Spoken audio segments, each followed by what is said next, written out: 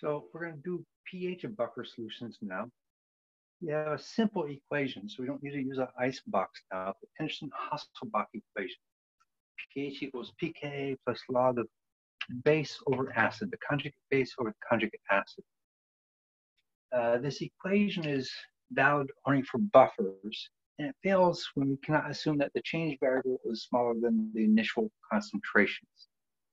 So there are some times if we dilute a buffer too much, it will fail also.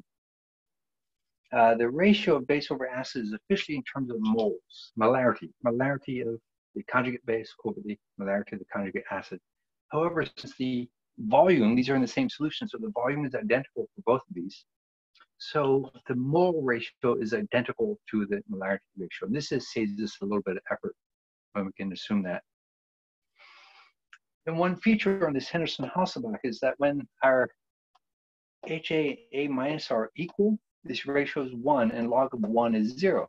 So we end up with pH equals pKa. And this is the center point of a buffer system. The buffer system uh, usually works within one pH unit of that center point. And then beyond that, we're getting to the end of the buffer system and we can exceed the buffer and then the pH starts to change more drastically. So a couple examples, simple ones. So if we have the 0.15 molarity of HF um, and 0.1 molarity of sodium fluoride, the source of the conjugate base, what is our pH? So our Ka was given to us as 7.2 times 10 minus 4. Well, in this equation, pKa is the negative base 10 log of Ka. So we do negative base 10 log of Ka, we get 3.14.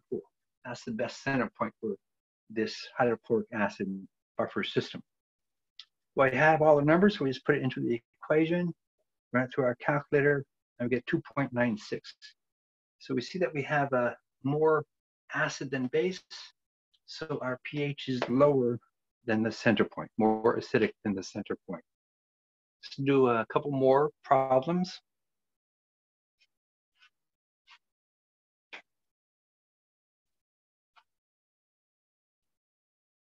So this one, we still have the same acid-base system, the hydrochloric acid and potassium chloride. We have a pH of 4.21. We want to know what the ratio is. And this is the type of problem that we do when we're trying to design a buffer for a particular pH. So we know what ratio of the compounds to add to get the right pH. So we return our Ka, our pKa, 3.14, we put in our pH and our pKa. Now we're going to solve for the ratio. So we subtract the two numbers off. We end up with 1.01 equals the log of the base over acid. So the antilog is 10 to the power. So 10 to the 1.07 gives us 11.7. So that is the ratio of the fluoride over the hydrochloric acid. Then one more, we're adding an acid to a buffer system. So we have our 0.15 molar molarity hydrofluoric acid and 0.10 molarity potassium fluoride. And we're adding 0.06 moles of hydrofluoric acid. We want to know what our final pH is. So as we're, we're not giving the volume here, but we're going to be changing these concentrations. But since we can do our equation in moles, we don't have to worry about what the final volume is going to be. But the, the neutralization reaction of the conjugate base with the strong acid is going to go to completion. It has a very large equilibrium constant. So we write the equation, our initial concentrations of everything. The strong acids are limiting reactant. If it's not, we'll end up not with a buffer.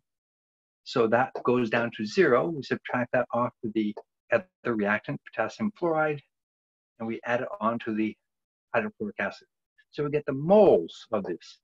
And now this was a simple problem since we had one liter solution. So one liter times 0.15 molarity gives us 0.15 moles. One liter times 0.10 molarity gives us 0.10 moles. So these are the moles already. I already converted them to moles, not molarity. So in this type of calculation, we want to use moles, not molarity. But now we have our new moles. We can just use that directly in our Henderson-Hasselbalch equation.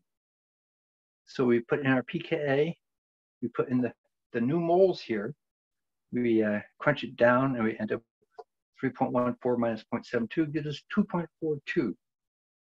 So again, we have a, we end up with more moles of the acid and our pH is lower than the midpoint.